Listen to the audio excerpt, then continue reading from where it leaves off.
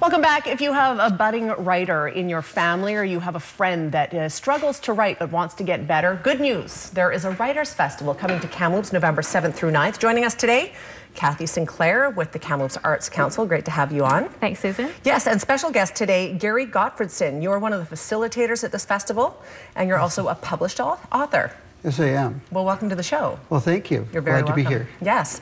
Tell me a little bit, first of all, Kathy, about this festival. Uh, this isn't the first year in a row we've had it. No, this is actually the fifth year for the Kamloops Writers Festival, and uh, the Kamloops Arts Council co-produces it with BC Living Arts, and this year the TNRD Library System.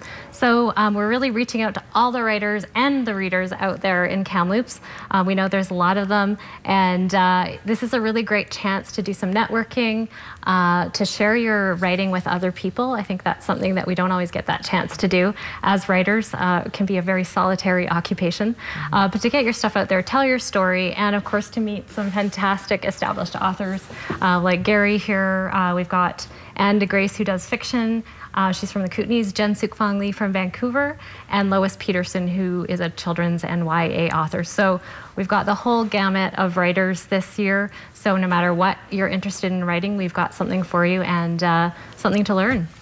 Garry, you're going to be one of the facilitators, as Kathy mentioned. What will you be teaching about? Well, I'm going to be doing poetry workshops, and I'm going to look at how to incorporate imagery, how to play with sounds within poetry, how to how to create rhythm uh, using hard sounds, soft sounds, that sort of thing. And so, um, so my primary focus is going to be on writing poetry and um, some of the elements within the structure of poetry.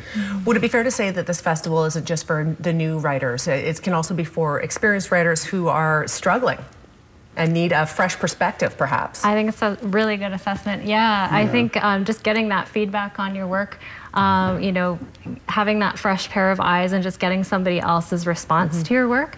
Uh, it takes a lot of courage to share your story, you know, but uh, I think it's really worthwhile just to get that community of writing going and uh, get those discussions happening. Where is it taking place? This is at the Old Courthouse. So we're opening on Friday, November 7th and with an open mic. So if you want to share your work, you just want to step right up, uh, you're welcome to sign up and share your work at the open mic. It'll be kind of a wine and cheese event and uh, there will be some live entertainment as well, which will be a lot of fun. So we're adding that this year. Mm-hmm. And then Saturday is a full day of back-to-back -back workshops. So you've got Garry, uh, our other facilitators, as I mentioned, Anne DeGrace Fiction, Jen Sookfong Lee, who does history and fiction, uh, Lois Peterson, who does children's.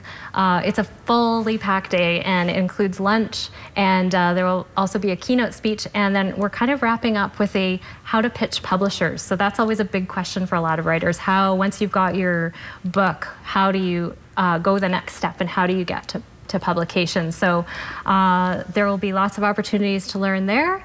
And there's also a chance to meet with writers one-on-one and get feedback from the writers. Uh, we call it the blue pencil sessions. Mm -hmm. So I bet you have lots of advice to give Garry.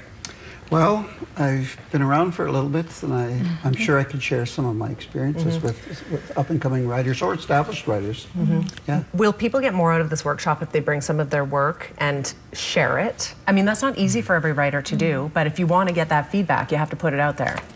Definitely, yeah. And actually, if you go to our website, um, all the information is there. Once you register, we'll give you more information about how to register for a Blue Pencil session, get some feedback from from some authors like Garry, and uh, yeah, just how that whole process goes. And I'll also just mention bringing on the library this year, we've got a couple of free readings on Sunday, the 9th, at the Downtown Library, and Garry will be reading as well as Lois Peterson. So. Fantastic. It sounds like a great weekend planned. Thank you so much. You're very welcome. So this is not this weekend, it's a week from this Friday, and if you would like to sign up, you can absolutely go to kamloopsarts.ca, the phone number on the screen as well. This is taking place at the Old Courthouse. Garry and Kathy, thank you for being here today. Thank you so thank much you. for having us. You're thank very you welcome. Very welcome. We're yeah. back in 90 seconds. Stay with us.